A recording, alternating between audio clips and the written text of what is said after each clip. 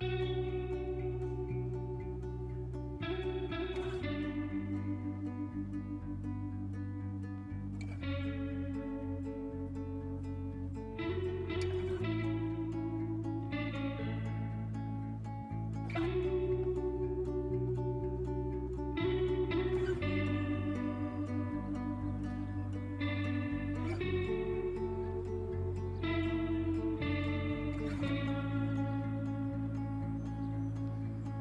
날 좋다.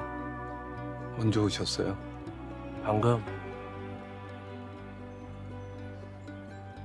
바쁜 사람이 여긴 뭐하러 와? 시간 참 빨라.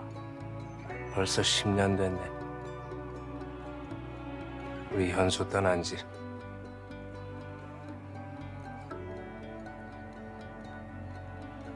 이제 그만 와. 자네도 할 만큼 했어. 저 회사 그만두려고요. 다른 일을 해보고 싶어요. 뭐 생각해둔 일은 있고 예전에 아버님 하셨던 일이요.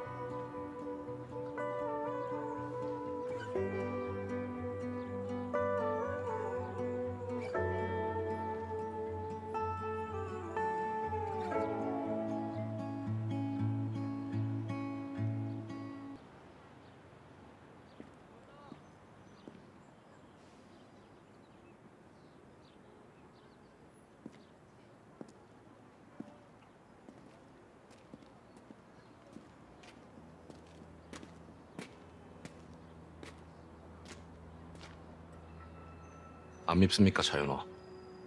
저 애도 피해자야. 속도 좋으시네. 나도 이렇게 생각하기까지는 오래 걸렸어.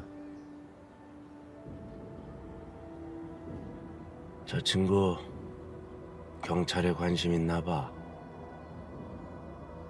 아이, 갑자기 관심이라니 뭐 경찰하고 싶대요? 아, 그래서 나더러 뭘 어쩌라고 쟤뭐 받아주라고? 그건 자네가 알아서 할 일이지. 괜히 색안경 끼지 말고 아니 근데 왜 하필 경찰이랍니까?